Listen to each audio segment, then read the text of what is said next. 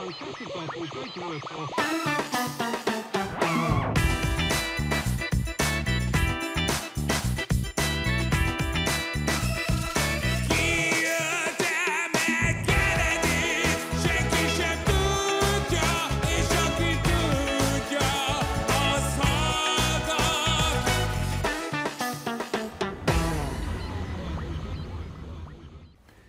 Köszöntöm a drága nézőket a Revolution 56 szabadságharcos sörözőből, a még létező Pesti TV képernyője előtt, és mindenkit, aki eljött ide hozzánk. Az biztos, hogy csütörtökönként este 7 órakor mindig lesz plebejus polbit, ahogyan az elmúlt 10 évben is volt, ebben a kis underground szentélyben. Itt van velünk Földi László, titkosszolgálati szakértő, a Védett Társadalom Alapítvány elnöke, és Stefka István barátunk, kollégánk, és hát mindjárt azzal kezdenénk, hogy, hogy azért morálisan, Laci, nektek bejött az élet.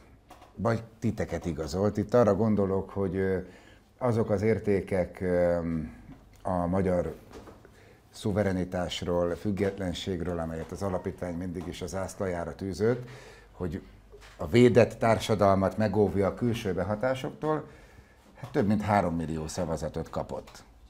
Persze mindig lehet vitatkozni, hogy az elsősorban a kampánystratégák, a politikusok vagy a civilek érdeme, de szerintem nem tévedünk sokat, hogyha azt mondjuk, hogy egy civil gondolat, amely talán a polgári körök mozgalmával kapott erőre, bár kétségtelen, hogy a Fidesz következetesen képviselte ezt a rendszerváltoztatás óta, de valahol ez a, ez a civil erő is elhozta a minden idők legnagyobb támogatását ennek a kormánynak.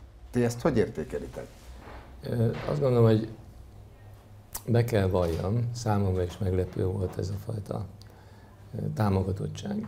Tehát a három millió, ahogy mondtad, és a kétharmad különösen. Azért volt meglepő, nem azért, mert nincs benne a magyarság tudatában az, hogy a normalitást kell követni, hanem mert elképesztő támadás folyik tulajdonképpen általában a normális világgal szemben. Ugye főleg Nyugat-Európában, Észak-Amerikában látjuk, hogy csoda furcsa fordulatokat vesznek a társadalmon belül ezek az új ideák, ugye, amelyek gyakorlatilag rombolják az alapértékeinket. Tagadják az egyházat, a hagyományos családmodellt, az életvédelem területén elképesztő dolgok vannak. Éppen ma egy hasonló konferenciáról érkeztünk. Igen, igen, egy egész napos konferenciát tartottunk, amiben jól sikerült, nagyon sok életvédő szervezet vett rajta részt magyarországi, és hát abban is megállapodtunk, hogy össze kell fognunk, független attól, hogy egy kétharmados jobboldali polgári győzelem történt politikai értelemben, de a politika meglehetősen behatárolt módon tud részt venni egyfajta ebben a háborúban, amiben mi élünk, elég régóta már, hiszen a politikának a játéktere az bizonyos fokig determinált törvények és egyéb érdekek mentén. Ugye nekünk, a civil világnak, a mindennapok emberének pedig az abszolút igazságokra van szükségünk. Na de akkor itt maradjunk egy pillanatra, hogy, hogy mi úgy éreztük, én többször elmondtam, hogy most először morális erkölcsi, stratégiai kérdések voltak a döntőek a választáson. Tehát az emberek a patrióta, távolságtartó, független magyar politikát értékelték. Azt mondták, hogy mi ne rohanjunk lihegve újabb fegyverekkel szítani a háború tüzét, hanem a magyar érdeket képviseljük, és ezt szerintem, és javíts ki, ha tévedek, ezt a három millió szavazó 3 millió szavazóközönség minden rétege megértette. Ugye ez egy nagyobb szavazóközönség, mint a Fidesz törzs szavazói, és nem kellett hozzá a rezsicsökkentés, vagy, a, vagy más ö, pragmatikusabb téma, hanem egy nagyon fontos stratégiai kérdésben állt a jobb oldal mellé, és itt kérdezem, hogy az, hogy ez így sikerült kiépülni, és gondolok mondjuk a 2010 előtti időkre, a patrióta mozgalomra, hogy ott hányan és hányan, és ennek az egyik oszlopos tagja vagy, aki mindig igyekeztél felrázni a közvéleményt, hogy nagyon fontosak a megélhetési kérdések, nagyon fontos a devizahitelek kérdése, az államadóság, de a legfontosabb, hogy független ország legyünk. Hogy ez most utat tört magának, és egy, egy nemzeti vallásá lett. Ezt mennyire érzed így? Azért azt tegyük hozzá, hogy nyilván ezek a jobboldali értékek jelen vannak. De azért egyszer csak lett egy háború. És amikor mi itt régóta beszélgetünk arról, hogy a háború nem feltétlenül azt jelenti, hogy lőnek ugye, harctéri körülmények között, hanem ideológiai síkon megy ez a háború és az összecsapás, akkor pontosan erre gondoltam én magam is az elmúlt hosszú évek alatt, hogy vegyük észre, itt óvatlanok vagyunk, nem figyelünk oda, akkor gyakorlatilag legyőznek minket, még mielőtt egyetlen puskagolyó is elsülhetne irányunkban. És ugye ilyen értelemben találkozott mindaz, amit kérdezel tőlem, hogy miről is beszélgettünk korábban. Amikor rengeteg... De kicsit gyomasztottál minket, tehát egyszerűen évek óta eljössz, és elmondod, hogy itt bizony háború lesz, sőt már van. És az ilyen földi lászlókat az ember a pokolba kívánná, hogy milyen háború, kimegyünk, szép idő van, főleg a koronavírus járvány előtti időkre gondolunk, fejlődik az ország, hagy már minket békén ilyen háborúval, de sajnos neked lett igazad. Igen, általában ilyen előadásokon is mindig elmondom, hogy a Nagysága úgy küld engem előadást tartani, hogy amikor befejezem az előadásomat, akkor legyek szíves, ne arra törekedjek, hogy a jelenlévők vagy szeppuput követnek el, vagy az erejéket vágják föl. De hát nyilván nem ez a célom. Csak azt akarom ezzel mondani, hogy, hogy itt találkozott tulajdonképpen az a fajta élethelyzet most április harmadikán, amelynek az előzményeit az emberek megértették, amikor mi nagyon sok helyütt voltunk itt a választás idején, nem kampányolni, hanem mondtuk a magunkét, a normalitásra, az értékekről, de mindig hozzátettem az előadás végén, hiszen nem lehetett megkerülni, ugye választás jön Földi úr, mi a véleménye. Hogy nézzék, ez itt most nem jobb és baloldal kérdése. Ez nem ideológiai választás lesz, hanem a normális és az abnormális kérdése fog fölmerülni. Hiszen ugye pontosan tudjuk, nem ebben a körben kell magyarázni, hogy mi lett volna, vagy mi lenne, hogyha egy ilyen külföldről irányított ellenzéki, nem is tudom, szövetségnek nem hívnám, valamiféle együttállás kerül hatalomra Magyarországon. És akkor tegyük hozzá, ugye, hogy ez a fajta baloldal vagy, vagy globalista oldal azonnal a háború pártiak lettek, és a háború mellé álltak. És itt arra gondolok, hogy és valószínű, hogy ebben is ugye élen jártál, amikor kifejezted, szóval amíg ez a baloldal Magyarországon mondjuk nem baloldal, mindegy, globalista oldal, nem hazafias, nem szereti a hazáját, nem nemzetben gondolkodik, addig labdába se fognak rugni. Egy esetben, mint ahogy 56 után Kádárék, tehát idegen segítséggel, különben soha. Ez a nép nem választja meg őket. Legyünk még plastikusabbak ez ügyben. Mondjuk azt, én legalábbis ezt mondom, hogyha az ellenzék nyer, akkor a magyarországi Zelenszky történik. Hiszen Ukrajnában a halálesetek túlnyomó része az ukrán kormány miatt van. Az teljesen tévhit, hogy itt egy orosz hogy mondjam, annektálása történne Ukrajnának Moszkva részéről. Ez egy butaság. Itt egy hosszú, nyolc éves vitára próbáltak az oroszok szerintem taktikailag rosszul pontot tenni. Jó, de azt azért nem gondolod, hogy a mai világban, amikor itt sokan, és ezek nem az amerikaiak, de mondjuk itt sokan a normális társadalomban azt gondoltuk, hogy békés úton is el lehet intézni a vitáinkat. Vagy például én személy szerint azt gondoltam, hogy, hogy a világgazdaságban olyan, érték, olyan mértékű bizniszek mennek, hogy nem feltétlenül akarják háborúval tönkretenni az üzleteiket, de közelítsük akárhonnan, azért, azért második világháborús módszerekkel lerohanni egy országot, az nem feltétlenül a legokosabb húzás. Hát akkor, akkor nézzük a tényeket ehhez képest. De most ne, ne a történelmi igazságokat és a, a politikai, tényeket, a hanem hogy Oroszország minden sérelme ellenére, a NATO és Amerika minden provokációja ellenére, az ukrán kormány minden gyalázatos magyar ellenes és orosz ellenes lépése ellenére is megtehette volna, hogy a békés út helyett egy hát egy a regionális szinten, de ott viszont totális háborút indított. Nézd, akkor egy kérdése, hogy válaszoljak most én.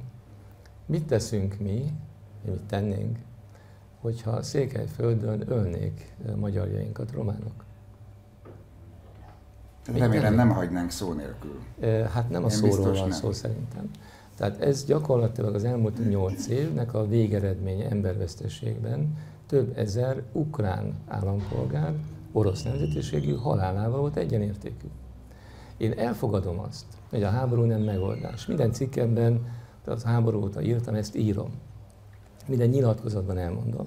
Minden egyes haláleset súlyos csapás. Egy társadalomban, egy nemzetben. Pláne, hogyha egyforma vér csorgadozik az emberek elében. Hiszen az ukránoknak a nagy része orosz nemzetiségű, vagy legalábbis őseit tekintve orosz volt. Nem szívesen ölik feltétlenül egymást. Tehát ez egy nagyon bonyolult dolog, és nem is hiszem, hogy ezért hívtatok, hogy erről különösen beszélünk. Jó, de azért akkor ezt már vard el, hogy Oroszország nem akart egy a nemzetközi megállapodások ellenére is kialakuló amerikai bábállamot Moszkva falai alá, ezért háborúzik, és közben kap egy finn-orosz hosszú NATO határt. Így most jobban jártak? Én azt gondolom, hogy Putyinék tévedtek. Mindenki tud tévedni, aminek következménye van. De megérte? De ne kérdezzünk ilyet a történelem, hogy mi éri meg, mi nem. Ha tévedtél, onnantól kezdve semmi nem. Akkor meg. fordítsuk meg. Tehát amerikaiak elképesztően büszkék rá, hogy mennyire ismerik Putyin szándékait, rá is erőltették a nyugati mainstream médiára, ugye január óta hetente írták meg, hogy háború lesz, ekkor és ekkor, így és így, CIA információi szerint mozgósították az orosz hadsereget, és biztos, hogy háború lesz. Tehát magyarul az amerikaiak büszkék arra, hogy ők tudták, hogy háború lesz. Hát nem kellett volna mindent megtenniük, hogy ne legyen? Hogy arra utasítani a e, báb miniszterelnöküket, Zelenszkijt, hogy tegyen gesztusokat a békekötés és a megegyezés érdekében? Orosz autonómia, magyar autonómia? Hogy de az amerikaiak sose gondolkodtak így, ne de haragudjál. Bocsánat, csak az azt mondom, hogy a józan gondolkodás, úgy, nem, ezt nem várjuk el az amerikaiaktól, csak rögzítettem a tényt, hogy amerikaiak büszkén hirdették, hogy tudták előre, hogy az oroszok támadni fognak. Ők a kisebbségek soha nem vették semmibe. Bocsánat. Jó, de nem az lett volna Amerika feladata és a NATO, hogy mindent megtegyen a béke megőrzése érdekében? Bocsánat, uraim, tévedtek. Az amerikaiak zseniálisak. Az amerikaiak nem tévedtek most. Minden úgy történik, ahogy az ő érdekeiket képviseli. Minden úgy történik. A morális kérdését kérdeztem. Hozzáteszem anélkül, hogy egyetlen egy embert kell feláldozniuk, hogy a Zelenszky. Nem kell katonát oda küldeni, nem kell pénzt belefektetni. Tehát azért pénzt fektetni. De a fegyverszállítás maga a fegyver nem óriási üzlet. Nem azon a szinten, mint hogyha háborúzni kellene mondjuk Afganisztán vagy Irakban. Nem azon a szinten. Tehát az amerikaiaknak nagyon bejött ez a történet. Ezért mondtam, hogy az oroszok hibáztak, még akkor is, ha ülik a székelyeinket. Még akkor is hibáztak ezzel a megoldással. De azért azt nem vegyük már figyelmen kívül, hogy gyakorlatilag sem más nem történik az elmúlt 30 évben, mint egy olyan nemzetközi fegyveres erőt tartunk fönt, mint magunk is, amelynek semmiféle funkciója nincs a világban. A NATO funkció nélküli hadi gépezet. Egyetlen egy célja van, az amerikai külpolitikai érdekeket képviseli. Tehát az amerikaiak Vietnámba amerikaiként harcoltak és gyilkoltak, Irakba NATO-ként. Sokkal jobban hangzik Washington szempontjából. Mi pedig ebben a csapdában lépkedünk már 30 éve. Jó, de a kérdésemet csak került meg, kérlek, tehát én nyilvánvaló álnaivan kérdeztem, természetesen tudjuk, hogy Amerika egy mocskos játékot játszik Európában és az egész világon, és érdeke volt, hogy Európa és Oroszország konfliktusba kerüljön, ezt szerintem itt a jelenlévők között is mindenki tudja, de morálisan, ha igaz, hogy ők előre tudták, hogy életveszélyes a helyzet, hát ha az európai NATO szövetségeseiket nem arra kellett volna késztetni, és Zelenszkit nem arra kellett volna késztetni, hogy kerülje el a háborút? Morálisan kérdezem, tehát hogyha én vagyok az ukrán elnök, és választanom kell a között, hogy vélt igazságok miatt lángba boruljon a fele országom, és belekergessenek egy olyan háborúba, aminek a végén nincs győztese. Ugye Zelenszky ma pont bemondta, hogy akkor van győzelem, hogyha a krímig bezárólag mindent visszaszereztek. Ugye nem fognak soha a krímig bezárólag mindent visszaszerezni, tehát egy örökös háború opcióját hirdette meg. Jó ez az ukrán embereknek? Jó ez az európai embereknek? Jobb lett volna az ukrán és európai embereknek, hogyha megrángatják a vészcsengőt, és kiegyeznek az oroszokkal mondjuk januárban vagy februárban? Hát de lássuk be, hogy Európa... De hogy erre mi a válaszod? Hát Európa nem... Hogy jó lett volna, nem? Igen, de Európa nem... És miért nem csinálták? De Európa nem ura önmagának. Na de akkor ezért? Európa az Egyesült Államok 51. állama. És pont. És hogyha mi nem akarunk ebben részt venni, akkor ki kell lépnünk az Unióból sürgősen. Hogyha ezt nem tesszük meg, akkor ugyanazt tettük, mint a történetben nagyon sokszor, rossz helyen állunk. Fel, bedarálnak, tehát az sem egy megoldás. Én úgy gondolom, hogy itt nagyon, szóval itt nem lehet morális kérdésekről beszélni, nem erről van szó. Óriási üzleti, hatalompolitikai ö, akcióról van szó, amiben tudatosan belekergetik Európát ebbe a háborúba, tudatosan tönkre akarják a gazdaságukat tenni, az európai földrésznek a gazdaságát, még maga az Európai Bizottság elnöke is Budapestre jön, hogy rávegye Orbán Viktort, hogy zárjuk el a csapokat. De nem ad ö, olyan ígéretet, jó, máshonnan szállítunk, vagy mi fogjuk kiépíteni nektek a tengeren túlról, vagy valahonnan a gázvezetéket. De István, máshonnan nem tud nehéz olajat szállítani, amire a magyar ö, olajfeldolgozó ipar épül, csak könnyű olajat. Tehát ha lenne tengerpartunk. Akkor Ezt egyébként Jeszenszkijék zseniálisan elmagyarázták Kurz ezredessel, Ambrózival a politikai hobbistába, hogy a horvát-magyar kiegyezés révén ugye Fiume a magyar királyság területe volt, és a Fiumei kikötő a magyar királyság területe volt Rianalig. És volt a magyar királyságnak tengerpartja, nem azért, mert teljes Horvátországot egy az egyben Magyarország részének tekintjük, hanem mert a Magyar Királyságnak... Jó, de ezer évig szövetségben élt. A szövetségen túl is saját ben. tengerpartja Fiumei kikötő képében. Jó, hát és Bocsánat, ott volt, bezárva. Jó, hát és ott volt Pulában Horti Miklós ellentenger, mert ugye ő volt a a tengerészeti akadémiának a vezetője, hát nem volt véletlen. De térjünk vissza nyilván hát az eredeti ez a témára.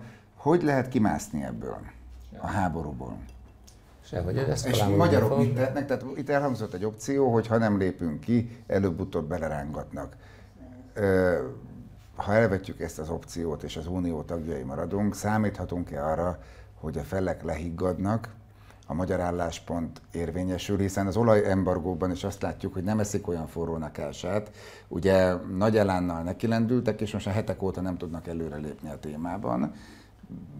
Lehet tartani hosszú távon ezt az álláspontot? Most az a helyzet, hogy, hogy a, az orosz gazdaság nincs fölkészül egy háborúra. De én azért szoktam mosolyogni azon, hogy Ukrajnát elfoglalják, Finnországot elfoglalják, a Baltikumot elfoglalják, és uram, bocsánat, még Anglia is veszélyben van, mert jönnek az oroszok. Ez egy hülyeség. Hát a háborúhoz két dolog kell, fegyver és egy erős hátországi gazdaság. Az oroszoknak nincs. Nyolc éve embargóban élnek. Egy, kettő. Azóta még súlyosabb az embargó helyzet, hiszen mindentől meg akarják fosztani őket. A kínaiak beszorították most az oroszokat, mert látják, hogy gyengék, és olyan áron beszélt meg az olajat, ami áron az oroszoknak nem fogja megérni, de kénytelenek eladni. Tehát az oroszok nagyon nagy bajban vannak, és a, tulajdonképpen az egész játék arról szól Washingtonból nézve, hogy még nagyobb bajban legyenek. Tehát egyszer és mindenkor akarják eltakarítani Oroszországot. Nem fog sikerülni. Hozzáteszem, az orosz föld ilyen értelemben sokkal nehezebb helyzeteket is túlélt már. Tehát az oroszok ilyenkor el vannak egy májkrém konzerven és kitartanak. Igen. Akkor itt válaszolj arra a kérdésre, amit a az értékrendeket nem valló bulvármédia, ami, köz, ami közül én a legjobban az Indexet gyűlölöm, megmondom miért, mert a Telex az legalább az, ami meg a 444, az Index pedig egy, hogy mondjam, egy gyomorforgató árulás már létezésében is. Minden esetre az Index most mai napon hangos cikkben írta, hogy jön-e az atomcsapás, ledobja-e Putyin az atomot, és ugye a, a Lipsi média csak ezzel foglalkozik, hogy akkor Putyin dobja az atomot, vagy sem. Szerinted?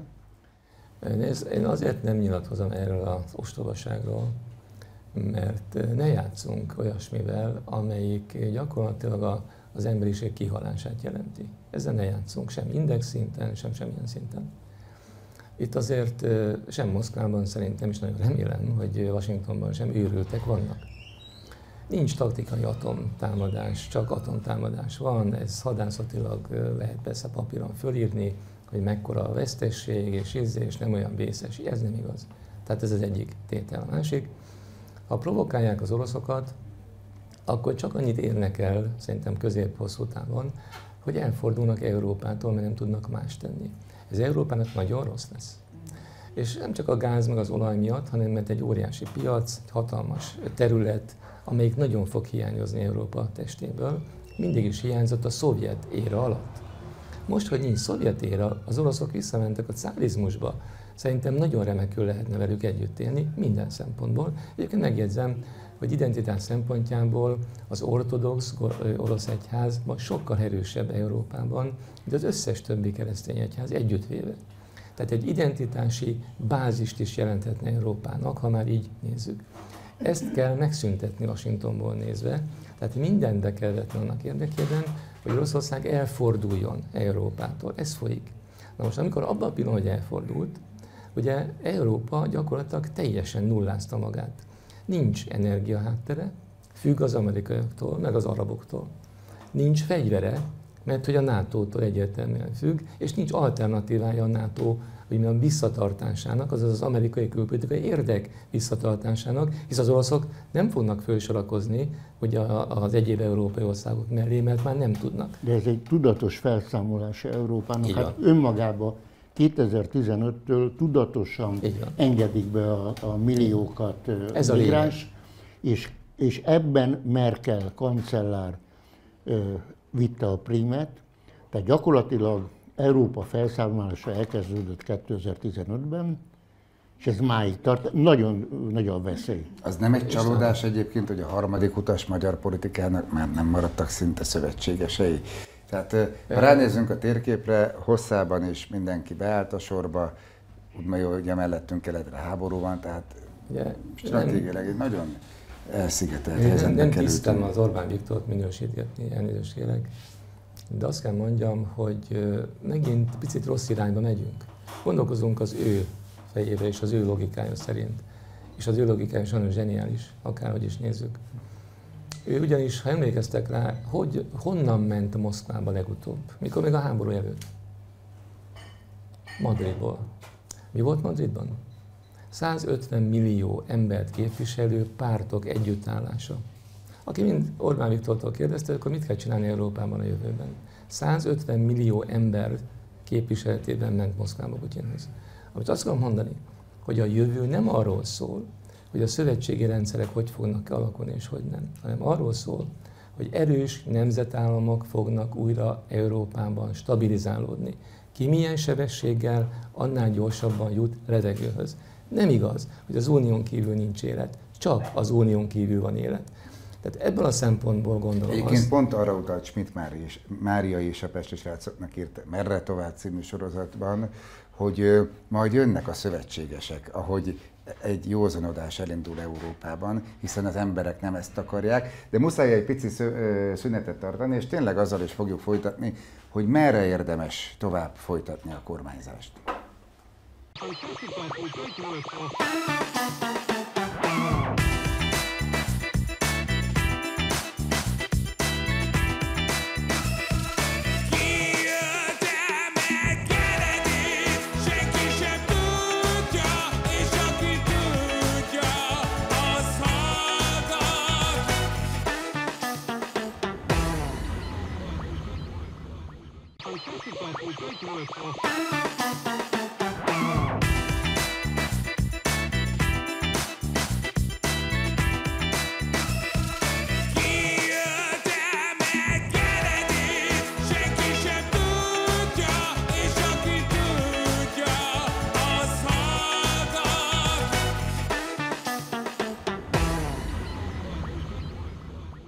Köszöntöm a kedves nézőket a mondhatnám, hogy a süllyedő hajóról, de itt vagyunk a Polbitben, amely már legalább 2015 óta ebben a formában működik, úgyhogy mi itt biztos, hogy leszünk, és köszönjük szépen a rengeteg szolidaritást a Pesti TV és a Pesti srácok jövőjért, aggódva egészen elképesztő leveleket, megszólalásokat, nagyon szívet megdobogtató gondolatokat, kiállást kaptunk, és volt ebben részünk, úgyhogy egészen ámulunk és köszönjük ezt a szeretetet. De folytatjuk Földi Lászlóval és Tefka Istvánnal a beszélgetést, és hát azzal szerettem volna mindjárt folytatni, bár reméljük, hogy Lászlót majd írásra is tudjuk sarkalni, hogy a régi polgári hagyományokat folytatva, amikor a 2002-es, 2006-os választásokat a magyar nemzetben egy nagy vita követte, hogy hogyan érdemes módosítani a kormányzás irányvonalán, mit érdemes elhagyni, mit érdemes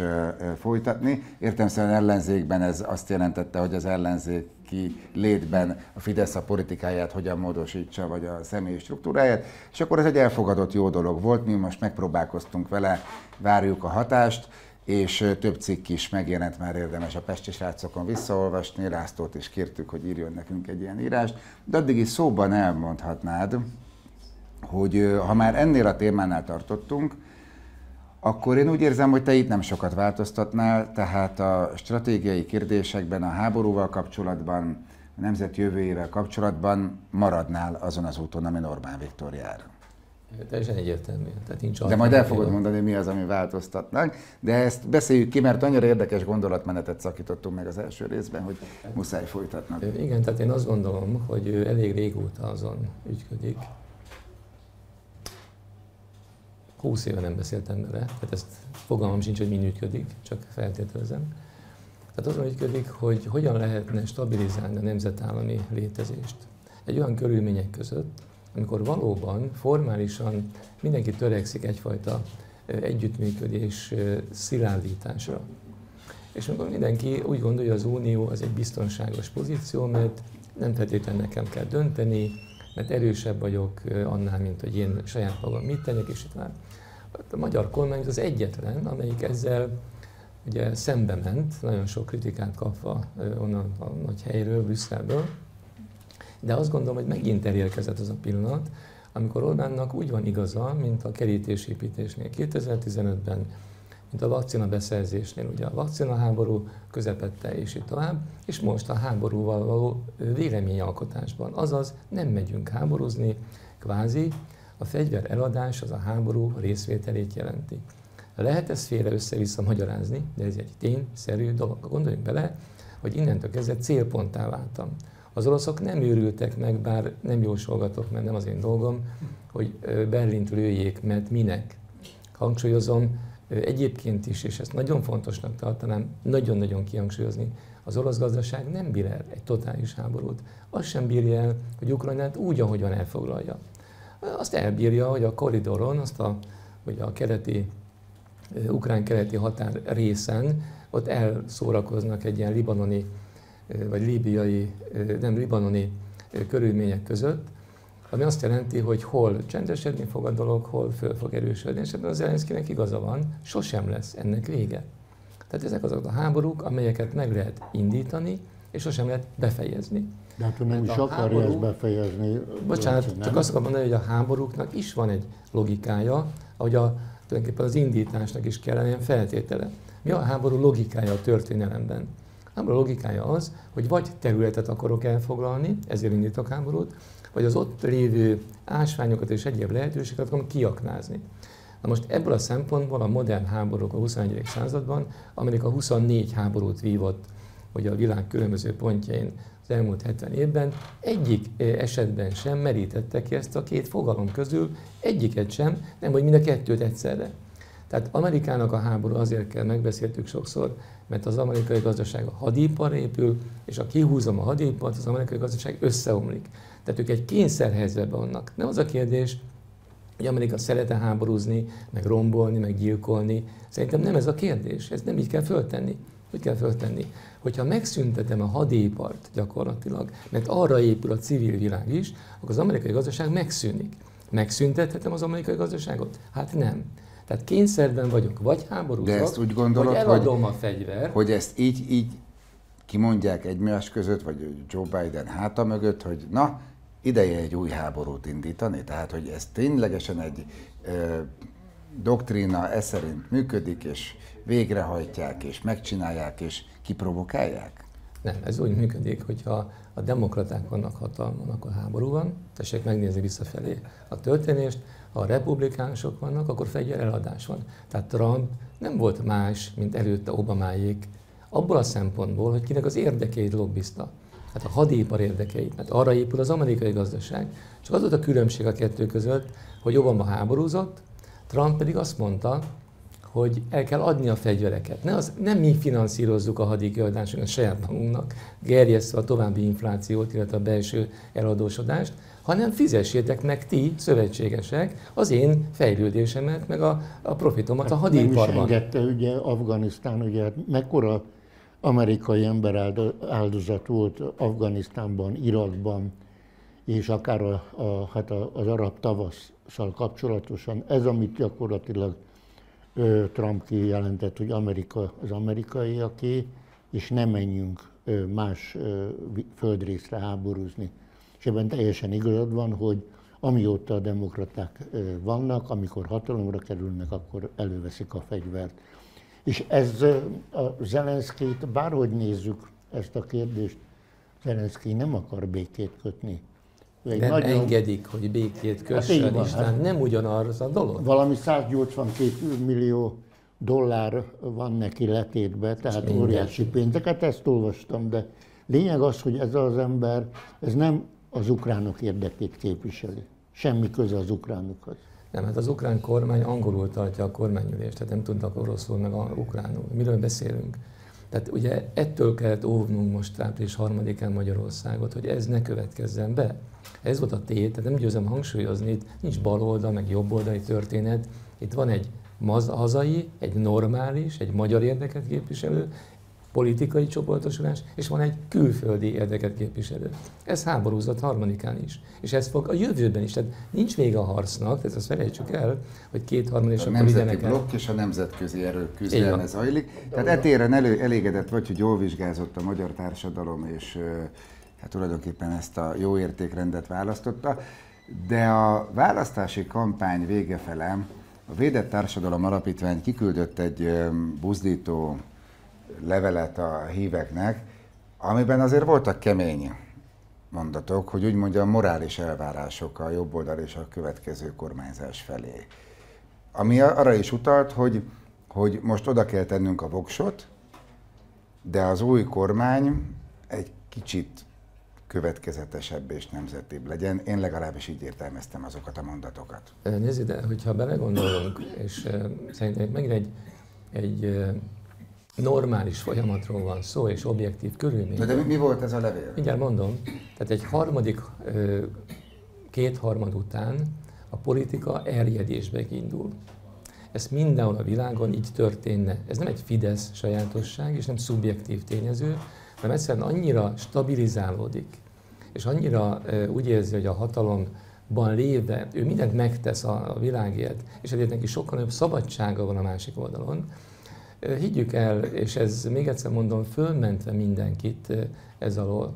A hatalom a sajnos személyiség romboló. De itt van egy morális probléma, ami abból fakad, hogy a nemzeti együttműködés rendszere már 2010 után is egy új többség kialakítására törekedett, tehát nem csak a valóban nemzeti gondolkodású, patriot, patrióta gondolkodású magyarokra, hanem mindenkire, akinek érdekében áll ez a kormányzás. És azt a folyamatot láthatjuk, és javíts ki, hogyha rosszul látom, hogy a valamikori bolsevik hálózat is nagyon jól érzi magát. Szoktam mondani, hogyha tudták volna, hogy ez ilyen jó, már 2006-ban megbuktatták volna Gyurcsány Ferencet, és ez nem miniszterelnök úrnak kritika, hanem hát egy fejlődő, szélesedő ö, infrastruktúrában, ö, bizniszben, hálózatban, hát nyilván akkor ők is De azért éltek, jobb, jobb oldalinak a, nevezik magukat. Igen, éltek a lehetőséggel, és elfoglalták a Nemzeti Együttműködés rendszerében a pozíciókat. Erre utaltatok ebben a levélben, hogy talán már kicsit sok a, sok a mm, másként gondolkodó a köreinkben? Nekünk olyan helyzetünk, mert nem vagyunk kormánytagok. Tehát könnyebben kritizálunk. De ettől függetlenül is azt kell mondjam, hogy ugye a Fidesz ereje, és Orbán Viktornak megint egy városi jövőképe, a 2010-ben az volt, hogy valóban meg lehessen csinálni a reformokat, és valóban egy egészen más Magyarországot lehessen építeni, ehhez egy hatalmi koncentrációt kell létrehozni. Ugye ez volt az, hogy gyakorlatilag integrálta a jobb oldalt. Na most ennek az, az, az a érdekessége Magyarországon, hogy Magyarországon a jobb oldal mindig is több tételből állt. Ugye a miéptől mondjuk a Fideszig tart a jobboldali értékrend Magyarországon a magyar emberek között. Baloldalon nincs különböző értékrend, miközben az volt a vicces, hogy az elmúlt 30 évben mindig azt láttuk, hogy baloldalon sok kis párt van, tehát a DK, Momentum, MSZP, MSZNP, Momentum, összes többi között mi a különbség? Semmi. Legfeljebb egyik ember itt van, a másik ember ott van. Ahol különbség van, árnyalatni és politikai értelemben is, az épp a jobb oldalon jelenik meg. Most ugye 2010-ben ezt a rendszert centralizálták. Miért? Hogy alkotmányossági helyzet alakuljon ki. És ez egy nagyon fontos tétel volt tulajdonképpen. Na most ahhoz, hogy a centrális hatalmat létrehozt, az egy nagyon centrális gazdaságra kell építkezned. Akkor tudod a tornyot fölépíteni. Meg Igen, ez a kultúrára is vonatkozik, pillanat, minden, meg a médiára. Igen. Amit én számon kérek, az nem is ez, hanem a következő. A hatalom megtartása viszont piramis elvet feltételez. Tehát nagyon sok érdeknek kell megjelenni, hogy engem a centrális hatalom csúcsán föntartson a társadalom. Ugye, amit én számon kérek, nagy nyilvánosság erőt is, hogy ez a fajta piramis Magyarországon ekkora, Oroszországban ekkora. És ezt lehetne bővíteni. Mert akkor lenne igazán erős, stabil jobboldali rendszer, nem csak négy évenként, amikor az embereknek nagyon komoly történelmi helyzetben választani kell, hanem annyira tudná stabilizálni magát, hogy föl sem merülne. Itt mindenféle ellenzéki ostobaság, pláne külföldi érdek szerint. Na most tehát ezt itt, ezt a NERT, ezt ide kell fejleszteni. Ez az én véleményem. Nem biztos, hogy igazam van. Még szélesebbre? Abszolút szélesre. De Mert ez, ez nem rend... elég széles, már gyakorlatilag felőrli, felmorzsolja ez a széles rendszer a, a valódi jobboldali szellemiséget, keresztény szellemiséget. Ne, ne, ne, ne, ez itt, ha a gazdaságban ez jelenik meg, tehát egy szélesebb NER, azaz a, az emberek, hogy mondjam, nem azon izgulnának, hogy beférjenek a ner már bocsánatot kérek ezeket a buta mondatokért, hanem kívülről kicsit ilyen, ilyen hát vágyakozva tekintenek, hanem benne vannak ebben a rendszerben, mert hogy adott ezek a lehetőség akkor a jobboldali értékek tovább tudnak éledezni, és a politikának rá kell jönni, hogy itt már nem arról van szó, hogy alkotmányossági helyzetet kell létrehozni, hanem vissza kell hozni a társadalomnak a norma értékrendszerét. van egy még szélesebb nemzeti többség, amit igazából a magyarság köt össze, tehát a magyar emberek közössége, és akkor azon belül egy valódi patrióta közösséget építeni, az nem bűn, hogyha akik valóban jobboldaliak, valóban patrióták, és ha esetleg ehhez képest egy kisebb tömeget is alkotnak, elkezdenek külön-külön mozgalmakat alkotni, szervezkedni. Tehát ilyen volt mondjuk a polgári körök mozgalma, ilyen a békemedetnek az egész tömege. Tehát van egy csomó olyan dolog a ti alapítványotok a nemzeti oldalon, ahol azt mondják, nagyon szép, hogy mit vagyunk a legkülönfélébb, tehát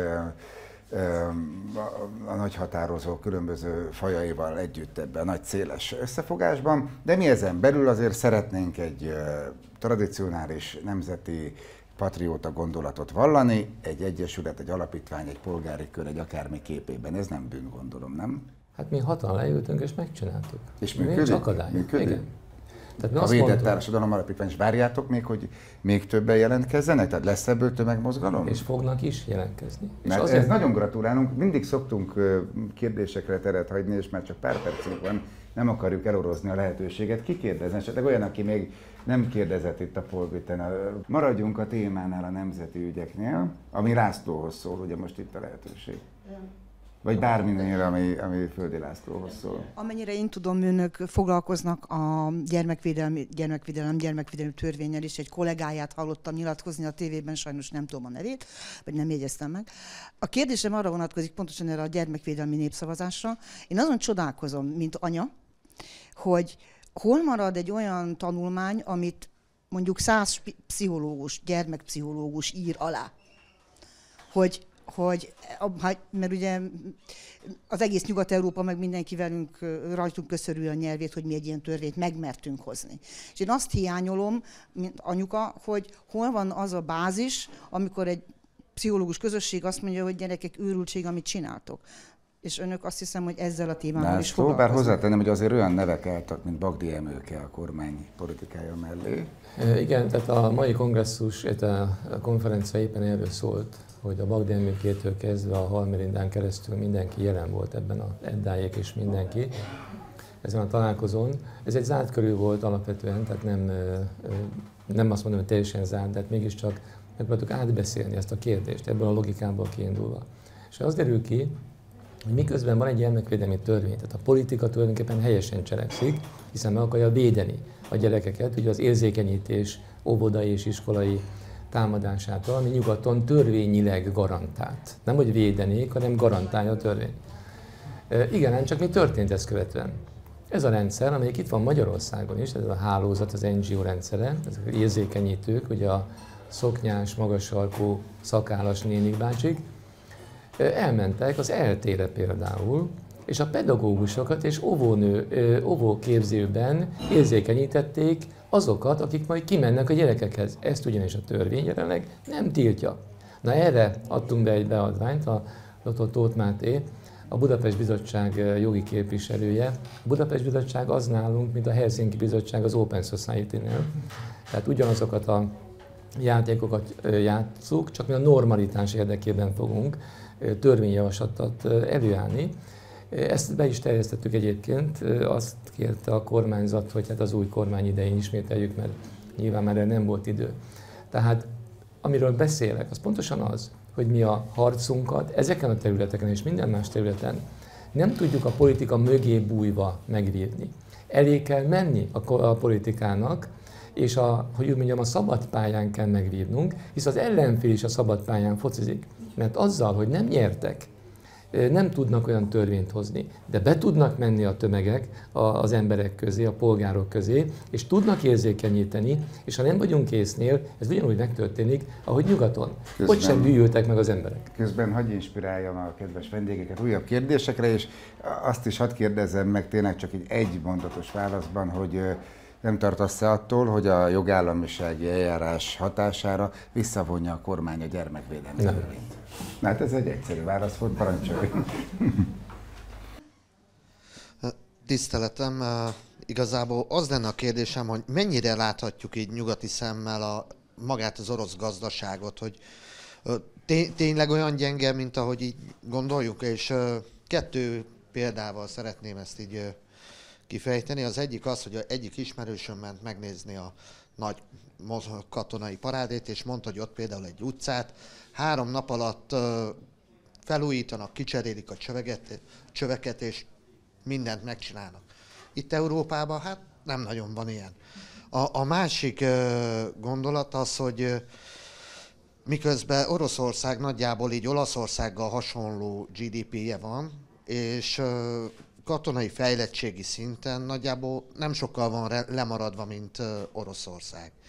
Szóval ne, neki is megvan a technikája, és ez azért elgondolkodhatott, hogy tényleg olyan gyenge a Oroszország. A gyengesség egy gazdaságban nem abszolút értéket jelent, hanem mihez képest jelenik meg. Én azt mondtam, hogy ahhoz gyenge az orosz gazdaság, hogy totális háborút kezdjen, akár még Ukrajnával is. Az orosz gazdaságnak a lényege, ugye a putyini éra idején mi volt? Beengedte a külföldi tőkét. Azaz beruházások történtek, akik egyébként most ugyanúgy megszívják, pestélyesen szólva, mint az oroszok, hiszen a Renault-tól kezdve egy csomó olyan cég kénytelen kivonulni és befejezni a termelését, amely neki nagyon komoly problémát fog jelenteni. Tehát beengedték a külföldi tőkét, beengedték a külföldi technológiát, ezért cserébe energiát adtak, és kezdett Európa egyesülni gyönyörű szépen. És egy elképesztő erős kontinens erőt néztünk a 90-es években, hogy emlékszünk erre a folyamatra, északi áramlat és minden. Ez volt a logikája. És ezt kellett megakadályozni 2014-ben a Majdánnal, tehát az ukrán puccsal, hogy Oroszország és Nyugat-Európa ne tudjon egyesülni. Mert onnantól kezdve nincs szükség az Unióra, nincs szükség az amerikai barátságra, és semmire nincsen szükség, hiszen nekünk van technológiánk, most a nyugatról beszélek, nekik van energiájuk és ásványuk és minden az égvilágon, mi kell. Mi kell még akkor a világban? Tehát ezt meg kellett akadályozni. No, hát akkor köszönjük szépen a kedves nézőknek. Még egyszer a sok szolidaritást és bátorítást a Pesti TV csapatnak a folytatáshoz, Földi Lászlónak pedig a nagyon értékes gondolatokat. Levejus Polbit továbbra is minden csütörtökön este 7 órakor felvéve itt a Revolution 56 sörözőben, a Bemrakpart 53-ban, úgyhogy jövő héten is várunk benneteket viszontlátásra. Thank